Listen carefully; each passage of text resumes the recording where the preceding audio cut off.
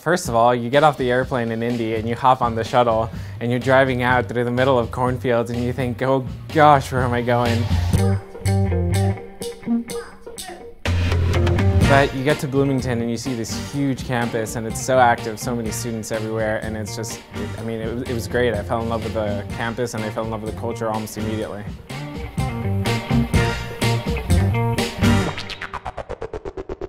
When you actually pull into the town of Bloomington itself, it's just incredibly charming.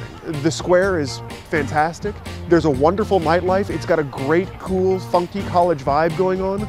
Bloomington's a fantastic place to be and a fantastic place to study law, mainly because you're gonna find everything in Bloomington that you're gonna find in most other major metropolitan areas. If you're a foodie, there are fantastic restaurants here. You've got Farm Bloomington, which is a great restaurant focusing on locally sourced ingredients. And you've got The Rail, where they just make absolutely stellar cocktails.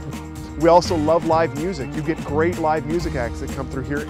I mean, the music community here is just so vibrant. There's always a concert, always, you know, faculty playing different recitals. It's just a great and vibrant and very active music environment, whether you're into opera or jazz or Latin music. There's just something always going on.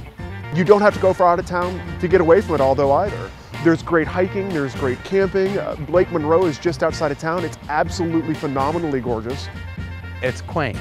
It's, it's, it's a lot smaller than what I'm used to.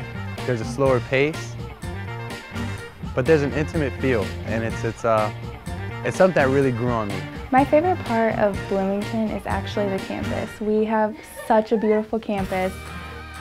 We have the B-Line, which is great for running and getting the community active. Bloomington is big and has all the resources of a big city, but yet it maintains that feel of a small town and the sense of community. I think part of the reason why the IU Maurer community is as great as it is is because of the fact that it is in a smaller town. You know, you really get to know everyone that's around here, and you just kind of form like an insular group, almost like a family within the school. It's not difficult to find something to do if you want to take your mind off of law school, but at the same time, it's really easy to just kind of leave it behind and just focus on your studies when you have to.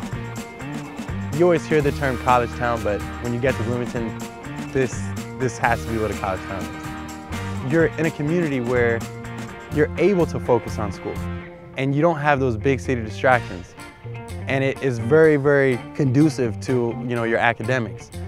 And there's so much to do and there's so much to learn. When you come to Bloomington, you feel like, you know, I'm gonna learn here. This is like, I can grow here. It's Bloomington. There's nothing, I've never been to any place like it.